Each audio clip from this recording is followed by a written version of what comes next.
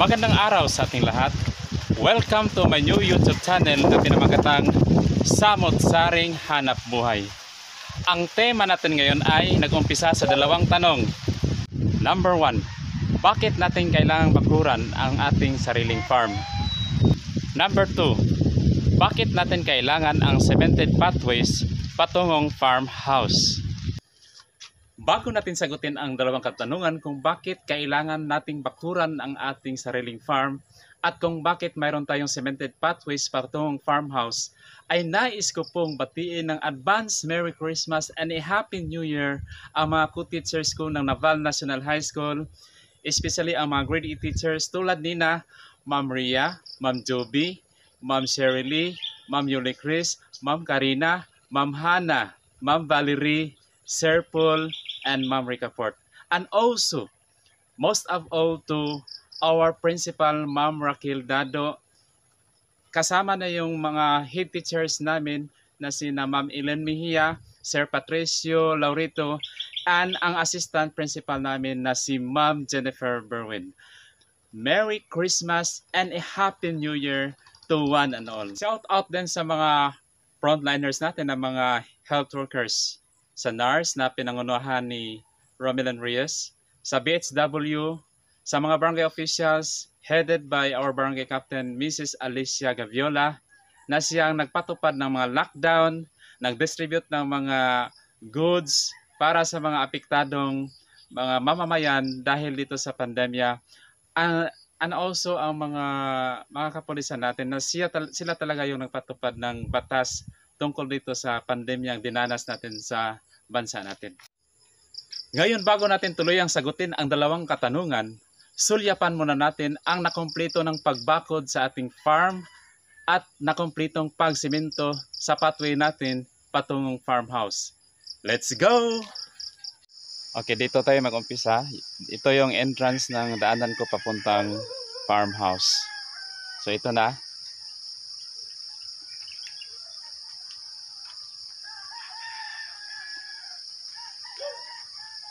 Ito yung kuan ko yung gate ko papuntang farmhouse.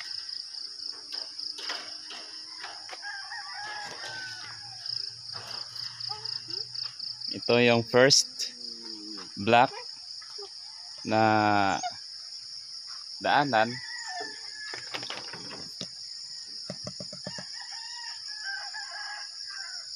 Cemented pathways papuntang farmhouse.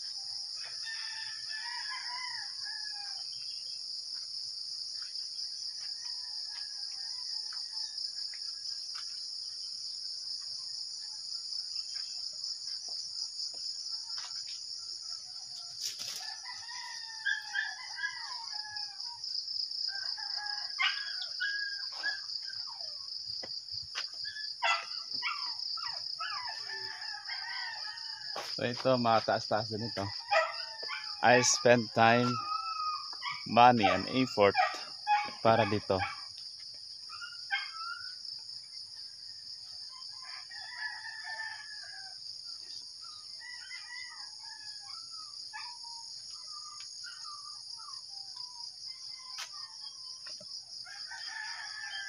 Okay.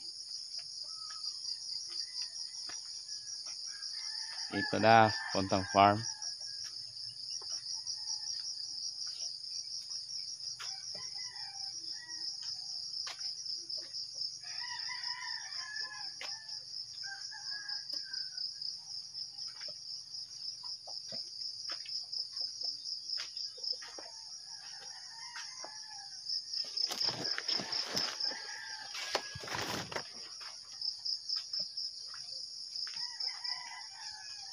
Eto na. So hanggang sa farmhouse ko talaga. Okay. So ito na. Ito yung farmhouse ko. So hanggang dito yung pat pathways, cemented pathways ko. Yan.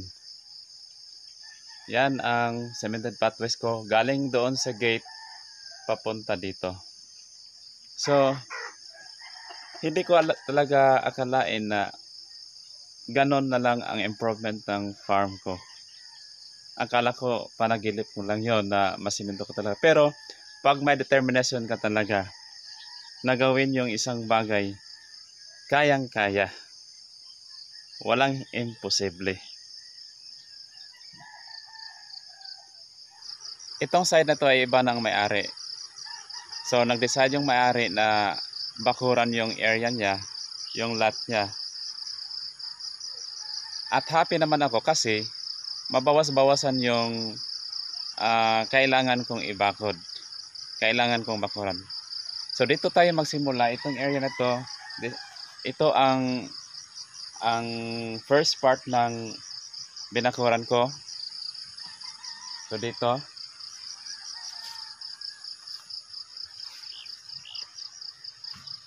ang kailangan lang sa pagbakod ay cyclone wire at saka yung posting guod ng kawayan. Mas preferable ako sa cyclone wire kaysa barbed wire kasi cyclone wire hindi talaga makapasok yung gustong pumasok. Hindi katulad ng barbed wire na mahal pa ah pwede pang ma-access yung area mo. To. Ito ang first side ng ah, farm ko.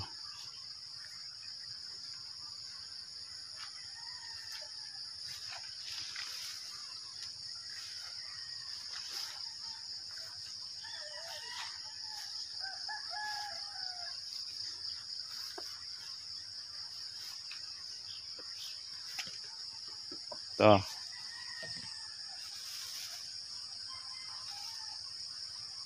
Ito na yon first side ng farm. So, ito yung entrance ko. Papunta na tayo doon sa second side. Yan ang second side. Yan. So, mas mahaba-haba din ito. Kasi 72 meters ang haba nito. Yung second side.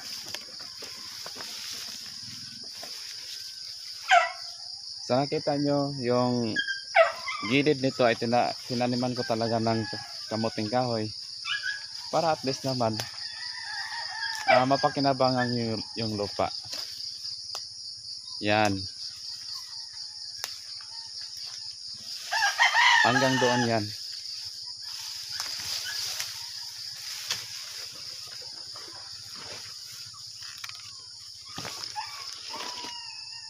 Sa farm, kailangan lang ang sipag at tiyaga.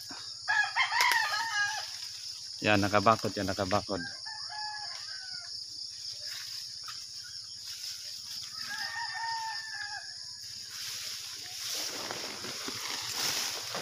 Dito yung kuan ko, yung kamuting kahoy hanggang dito. At saka yung mga mani ko, hindi pa na-harvest. Harvestin ko. Ah, intercropping, mayroon akong saging at saka mani, at saka balanghoy or kamuting kahoy. Yan. Dito naman sa area na ito, kung nakita nyo, napansin nyo, sin o yero ang ginamit ko kasi ah, binigay sa kanya ng kapatid ko. Sayang naman, yung kapatid ko nagbahay ng malaki, binigay sa akin yung yero ang iba, ibang yero.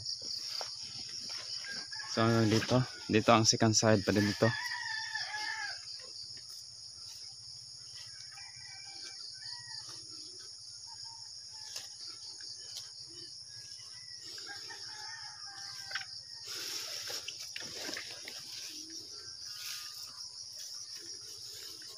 Hanggang dito. So ito na yung third side.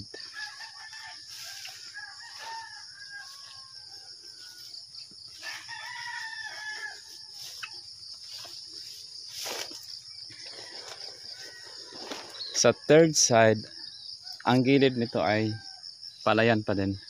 Kasi dati, ang area ko ay isang palayan. Pero, na napansin ko na mas logi ako kung palay ang itanim ko. So I decided na i-stop ko yung palayan ko at taniman ko ng iba kung ano ang dapat itanim at decided ako na saging talaga ang maganda dito. Kasi hindi ka na mag magtanim ulit. Di katulad ng palay na after harvest magtanim gagasta ka na naman. So ito ito yung ah third side hanggang dito pa.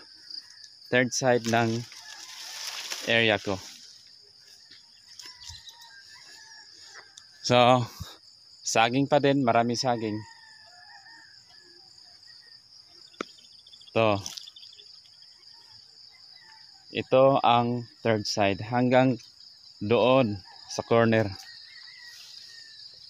Ito na. So ang fourth side ito na yung fourth side. Napansin pa- nyo pa din na palayan talaga. Yung fourth side. So ito yung fish pan ko sa fourth side. Nasa taas kasi ito.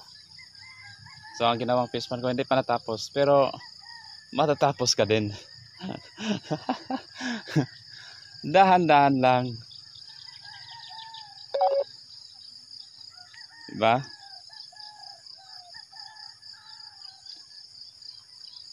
walang imposible. Kung gustuhin. Kasi may determinasyon ka eh. Ito port side pa din ito. Okay. Di ba kanina doon sa unang part ng video ito ay mayroong naka pader so hanggang dito yung pader So, happy naman ako kasi nabawasan yung dapat kong bakuran. Mataas-taas din ito. Yan. Yung aso kong si Modi dito ko nilagay kasi makulit ito. Kumain ng manok. Ito hanggang dito. Dito na yung farm ko pinaka pinaka ah, sentro ng ito yung farmhouse ko, pinaka sentro ng farm ko. Hanggang dito, ito yung aquaponic system na gagawin ko ditong area na ito. At saka ito yung ah balo, balon na ginawa ko. Ah 20 feet yan, no? Mata mataas yan. Malalim pala. Malalim. Yan, hanggang dito. Ito yung isang fish pan ko na kung mayroon akong malaking isda doon sa isang isang fish pan ko, dito ko ilagay for harvest na talaga. So hanggang dito pa yung bakod ko, yung mga saging ko, yung farmhouse ko. Dito pa din. hanggang dito pa din.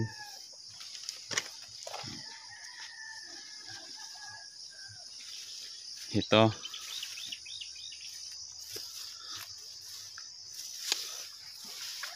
Sarap mamuhay sa bukid. Kung may pusong magsasaka ka. Sarap mamuhay. Talaga. Happy happy ang pakiramdam Okay. Ito na.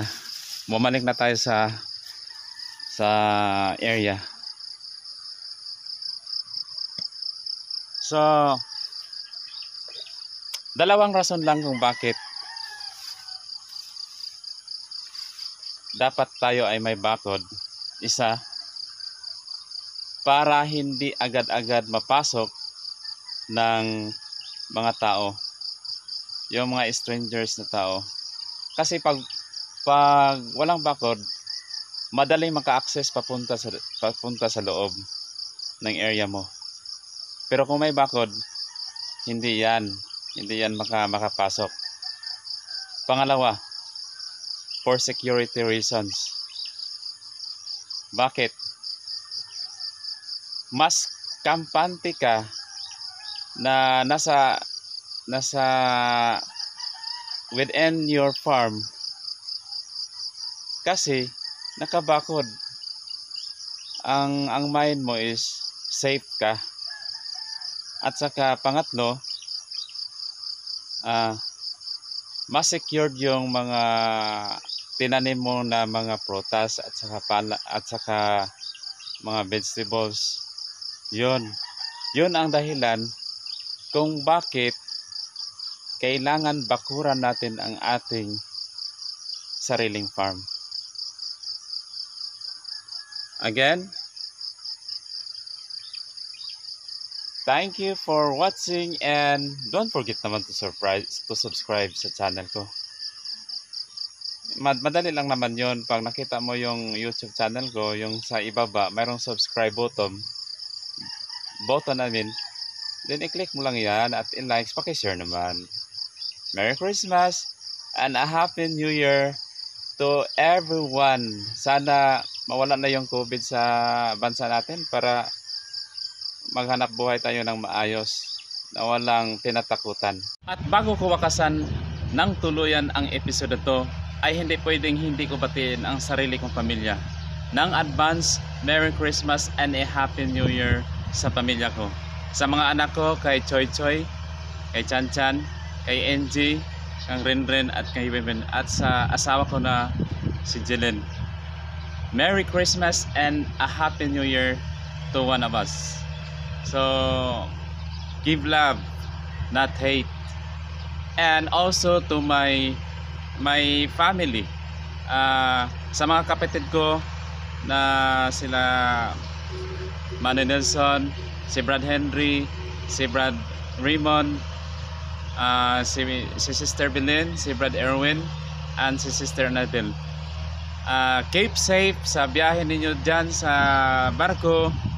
Ah, sana maiwasan natin yung mga problema na about health and about family uh, if possible ah, okay lang life must go on no matter what happened and uh, we should not forget our family